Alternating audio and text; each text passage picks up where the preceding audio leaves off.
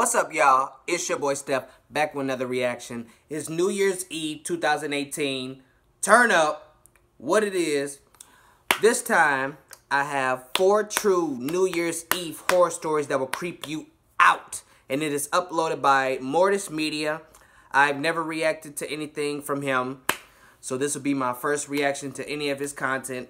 If I like what I hear, I'll definitely react to more of his content. Y'all already know how I am when it comes to new content creators that I come across. Down in the description will be a link to Mortis Media's channel along with a link to this original video. Without further ado, let's get into it. Mortis Media. Uploaded December 31st, 2016. So exactly two years today. Hey guys, before the video begins, please don't forget to rate and comment on the video, as it really helps me and the channel out. But more importantly, from next video onwards, your suggestions will determine the next video. I'm going to create a wheel that will spin with all your suggestions in the comment to see which video will come out next. So feel free to start commenting away. Thanks guys, you really are awesome. I'll give you a bit of information about me before I go into the story. I was living in New Zealand as a 23 year old and my birthday is on New Year's Day. Hey. We have a festival on the south side of North Island where you camp and get drunk and whatnot whilst listening to music. And it lasts up to seven days. Damn. So, this was New Year's Eve. People had been up for days. I'd woken up early and had decided to have a shower before everyone else woke up and used up all the hot water. I took all of my belongings I needed and walked to the first toilet. These ones were up some stairs in a portable building. There was section for boys and girls. I'm a girl, by the way. As I walked up the stairs, I heard someone call out to me. I looked round and saw a guy walking towards me. I stopped because I thought he probably wanted to ask me a question about the camping grounds or something. So he came up to me and said, Hey, I'm Jesse. What's your name? And proceeded to hold his hand out and shake my hand. I was like, oh, hey, and shook his hand back. I thought this was weird, as I was part way up the stairs, and when I went to pull my hand back, he held onto it and said, Can I get your number? What? I ripped my hand out and gave him a look that said, Yeah, right, mate, and laughed. He looked offended, and so I said, Dude, it's 6 a.m., and you've introduced yourself to me whilst I'm on my way to the toilet. I'm not going to give you my number. He shrugged and went on his way. Or so I thought. When I'd finished in the toilet, I came out to the door and briefly looked up where I noticed him crouching behind a tree. What? He didn't see me, so I kept it that way to scope out what he was doing. As I was walking to the shower, out of the corner of my eye, I noticed him run from behind the tree to behind a building that they used to sell food that was closer to me. I was shitting my pants at this point, and the stairs to the shower were behind the building I was in. So I walked that way, and instead of going up the stairs to enter the shower, I ran and hid. That's when I saw him run round the building and up to the stairs. I bolted. I was so angry and scared at this point. I kept running until I found some poor hungover young boy that was spewing out his guts. He might have to catch these hands. And I told him what happened and asked him if he could just stand with me for a bit. Give him them hands. Not that it would have been much help if the guy came looking for me, Hell no. but the company was nice and slightly reassuring. After I'd calmed down a bit and decided to look for security as I didn't want anyone else going through it, I thanked the boy for his company and found one of the on duty security officers. As we searched the campgrounds, there was a hilly part that was blocked by one section from the other. We walked over it and found two boys. They were picking up anything they could throw at tents, and lo and behold, he was one of them. Of course. I notified the security officer that it was him, and he noped out of there. I later heard that he got kicked out the festival. So, potential rapist? Let's not meet again. Potential rapist? Last year, around 2 a.m. on New Year's Day, He would have had to catch the hand. I heard a loud noise. It sounded like someone drove to the end of my street and hit the dumpster. The sound was loud, metallic, and almost hollow. I went outside to investigate since my car is parked along the street, and I wanted to make sure that it did not get hit. Right. I get outside and it's dead quiet, except for a female making a noise. I live in an apartment building right next to the interstate, and on the other side of that is a hospital with a huge parking lot. Right. I heard the female and figured kids were outside screwing around in the parking lot. But as I listened closer, I noticed the female was crying and saying things like, oh my god, over and over. I went inside and bundled up, since it was about 20 degrees Fahrenheit outside. Damn. Then I walked a short distance up a hill to the fence line to the interstate. It was really dark, but I could see the shape of an overturned vehicle in the road and the silhouette of another car on the shoulder. Traffic was very, very light. Right then, a police cruiser pulled up and slowly shone its lights at a mass in the road. It flipped its emergency lights on and turned the car so that it would be facing oncoming traffic and was about to put down flares. I went back inside to grab some better gloves, and when I came out, there were several emergency vehicles that were setting up floodlights. The mass on the road was a body. Luckily, I didn't see the details. By the time there was enough light, the body was covered. I never saw the female. Later, I realized that two guys in a BMW were driving way too fast along the road and tried to pass the female driver. They lost control and flipped the car. They were both ejected from the vehicle. One ended up in a ditch and the other in the middle of the highway. The guy in the ditch lived, and apparently the female driver stopped and tried to help. And that is who I heard. They deserve that shit. Fuck them. I attended what was expected to be a super fun party being stupid. commemorating the end of 2015 at a close friend's home. I expected to be awake till dawn, so I made sure to eat a big dinner and arrived late to the party around 11 pm with two of my best friends. We're a pretty tight knit social group, and despite the party being a combination house show with several bands playing, I virtually knew all of the 60 people or so who were already there when I arrived. Among friends and acquaintances, everyone was celebrating, drinking, and just having a great time. I had planned to meet up with some other friends around 2 a.m. when they would be finished bartendering a public event, so I was drinking socially but in moderation. I'm no stranger to the sauce and have a healthy tolerance. By midnight, the party had grown to at least a hundred people. And by the time there were people drifting in from neighboring parties and the surrounding university area. I opened my third beer at 1 a.m. and continued taking pictures, snaps, and messaging other friends who were not there. Mm-hmm. Around 1:30, I started to feel really drunk I bet. and thinking that perhaps I was just overwhelmed by the constant activity around me, as I hadn't really drunk all that much yet.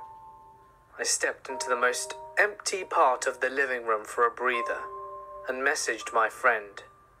I sent her a message inviting her to the party as we planned on meeting up.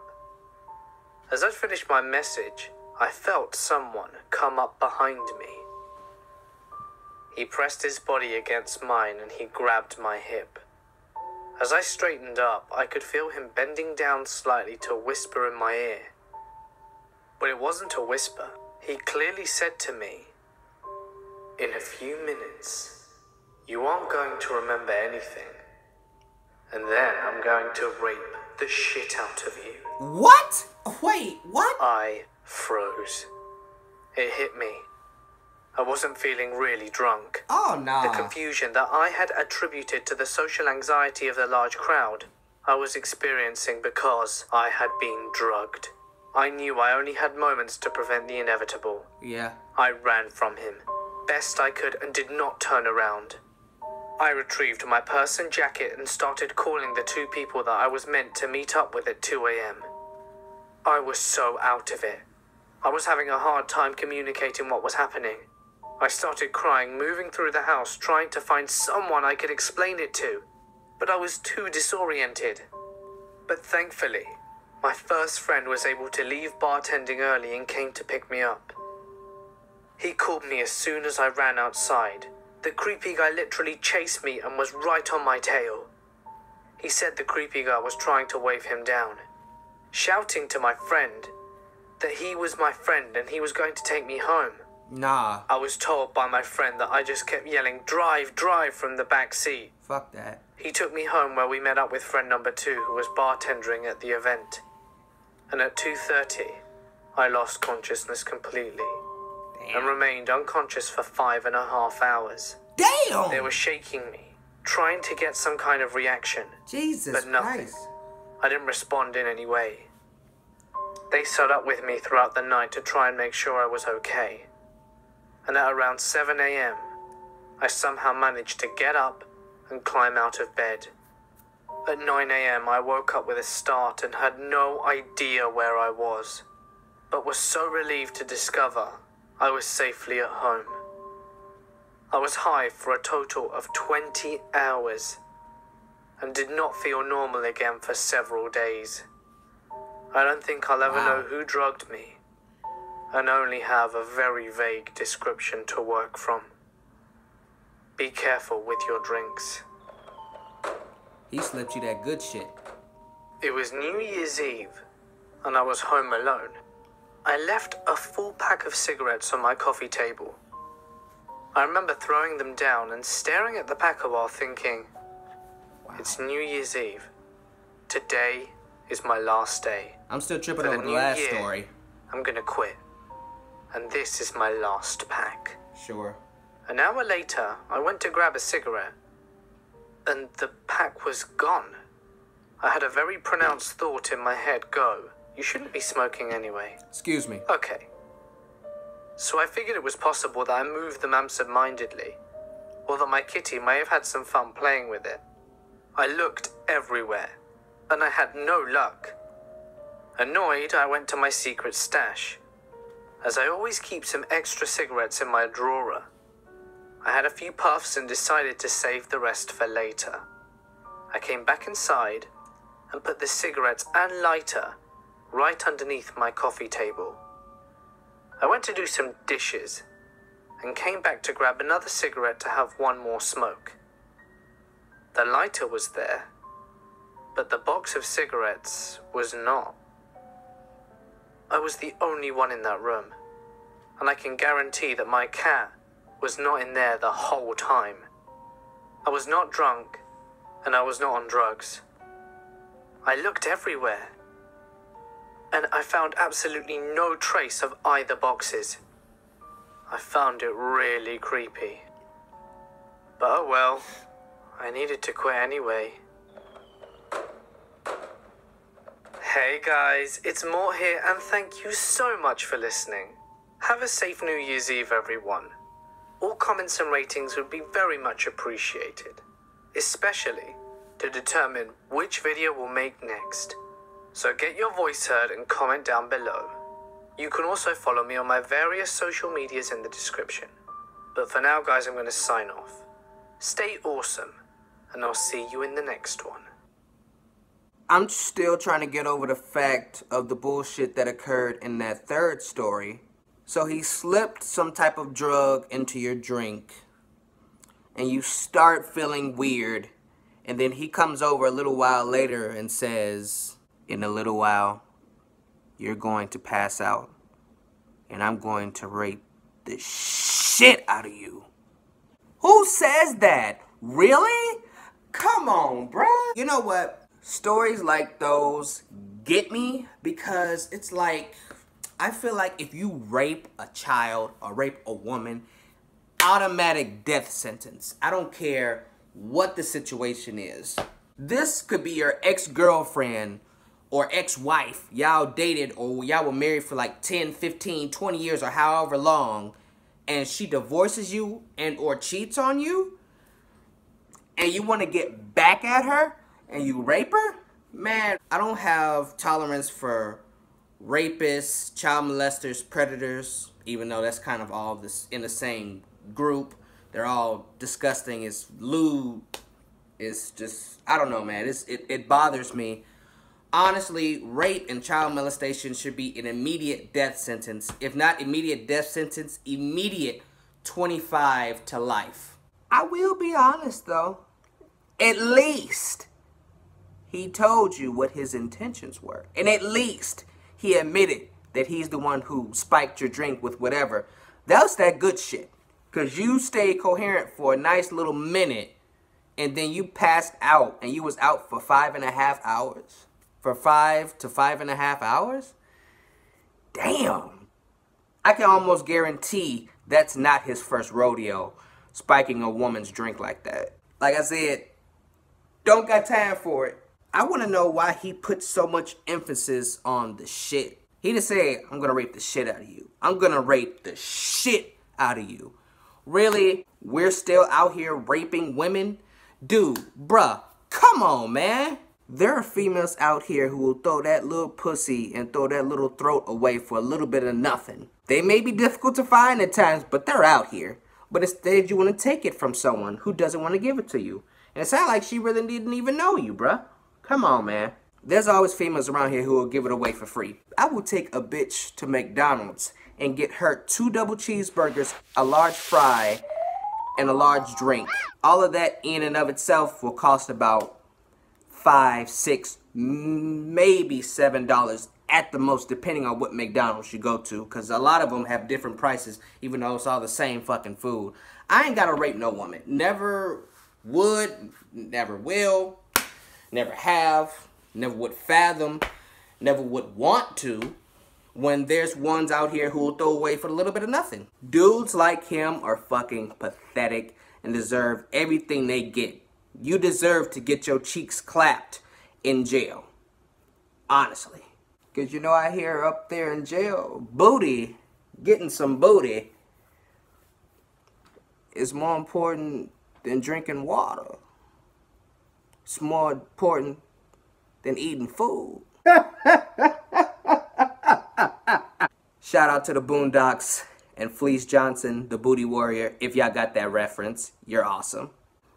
Everybody in this video could have caught the hands if I was in that situation. Everybody.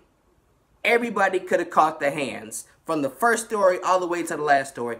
Every situation, the person who was fucking with y'all or trying to come after y'all, they could have caught the hands. But that is it for this video, y'all. If you like my reaction, like the video, comment on the video, and share the video. And if you really liked it, subscribe to the channel and tap that bell icon so you will be notified every time I drop new content, which I do on a weekly basis. That is all I got for y'all this time around. Enjoy your New Year's Eve, and your boy Steph is out.